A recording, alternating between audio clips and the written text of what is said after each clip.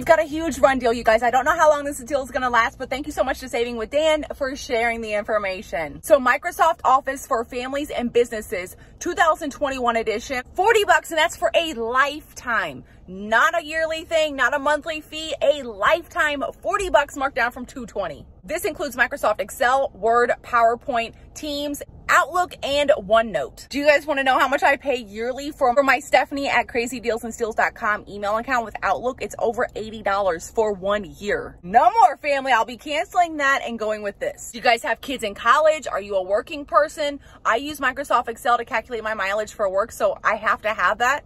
And it's so crazy that this deal popped up because I've been uploading reassessments for work and I keep uploading the Excel document for my reassessments in the wrong format, a PDF format because I don't have an Excel subscription.